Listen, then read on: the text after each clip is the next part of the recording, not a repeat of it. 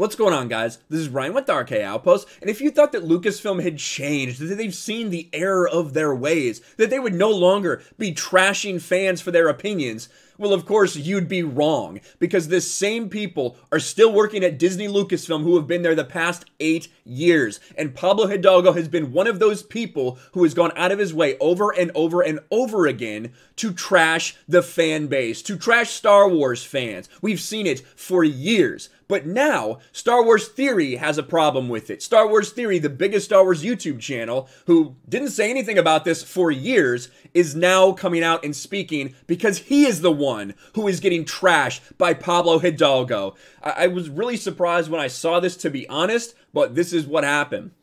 Pablo Hidalgo mocks reaction to Luke Skywalker. And this all centers around Star Wars Theory's reaction to Luke Skywalker's appearance in The Mandalorian, which, if you haven't seen it out there, uh, he has a, a pretty well known reaction at this point. He was in tears, a lot of tears, when Luke Skywalker came back. Twitter user, and this is from ItchyBacca. Shout out ItchyBacca. Drunk 3PO is one of the first people on this as well, so shout out to both of them.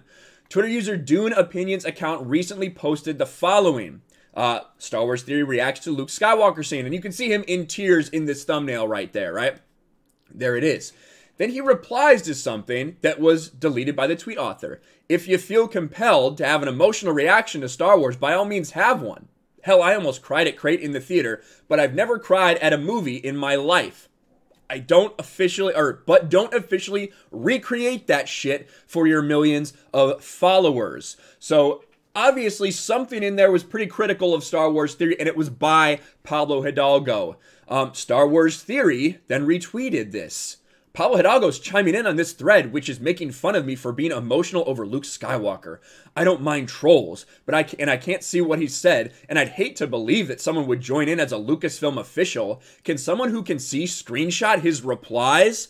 Now, I've been critical of Star Wars Theory before because I feel like he doesn't really give his true opinion sometimes. I think sometimes he straddles the line in order to maintain this very nice relationship with Lucasfilm. I'm just being honest. That's how I feel. And he has been silent about the fan treatment from Lucasfilm for a long time. In fact, what was it, six months, a year ago, he even said that, you know, hey, I get that some people just want to hate everything. Can't we just talk about what we like? I get that he doesn't want to be a negative guy, but it's ironic that you have ignored the treatment of fans for years in order to make sure that you stay out of the dramas, have this nice relationship with Lucasfilm, and now this happens to you. Now you're going to come out and speak out about the treatment of fans by Lucasfilm. Let's see what happens. Star Wars Theory says, well, here it is. Basically, Pablo validated that post and undermined my emotions. Expecting more from someone so high up at Lucasfilm, that's really shitty to see. And Pablo Hidalgo, emotions are not for sharing. That's what he said. Emotions are not for sharing.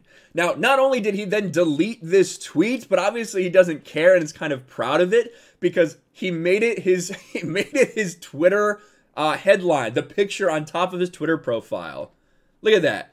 Knowing that the tweet was out there, old Pablo decided to put up on his profile so bold, so brave.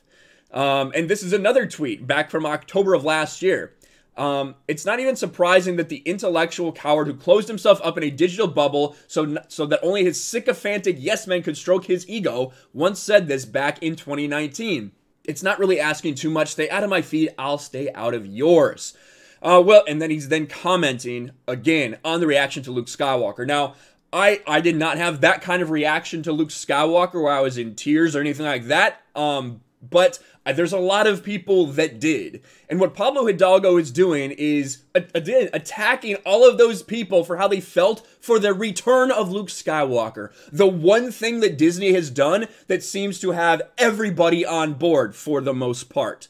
That is what Pablo is now attacking someone for. A Lucasfilm employee making fun of someone for their reaction, their emotional reaction to the return of Luke Skywalker. This is what Lucasfilm wanted. They wanted people to feel like this, but you still have people in there that hate that people love Luke Skywalker. People like Pablo Hidalgo. Star Wars Theory had a bit more to say.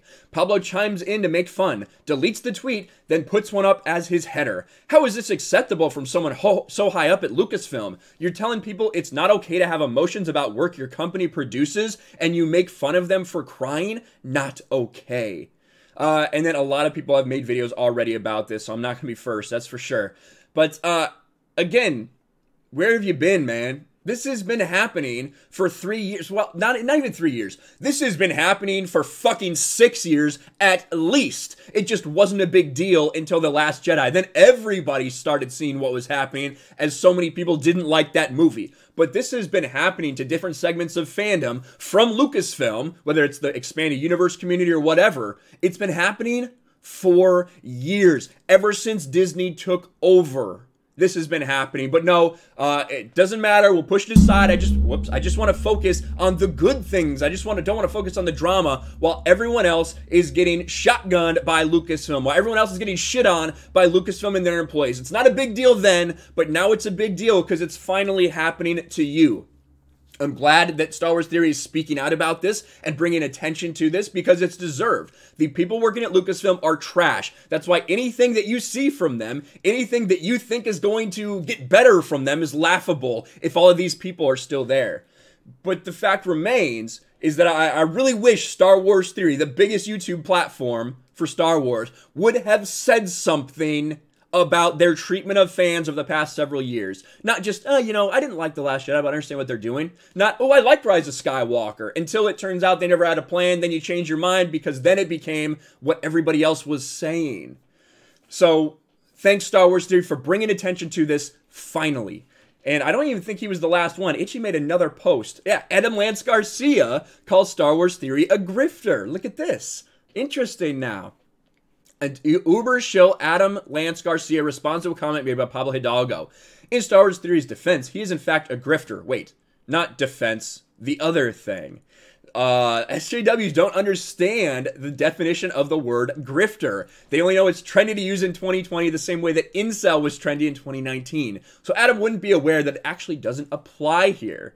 And uh, Pablo commented again in the same thread. Uh, we can't see what he said we can't see what he said there, but someone did respond only if it comes with a four hour commentary. Maybe that will leak eventually as well from one of the, the 250 people that actually follow Pablo Hidalgo on his protected account. Uh, overall, not a good look for Lucasfilm, is it? And Star Wars Theory is going to shred these guys. Maybe all of these people would have been called toxic fans, toxic man babies, if someone with that big a platform had spoke out earlier. If someone with that big a platform had seen what was happening at Lucasfilm and decided to say something instead of keeping everything nice and drama free because he wanted his relationship with Lucasfilm to remain kosher. But we're here right now. What will happen in the future now that he is calling them out? Let me know in the comments smash a like button, subscribe to the channel, ring the bell for notifications, share this video out there, and I'll talk to you later. Thanks for watching, everyone, and a huge shout out to my patrons. I appreciate you guys so much. Want to follow me on Twitter or Instagram? Check out the description below. You'll find links to my P.O. box and my Patreon as well. And I'll talk to you guys later.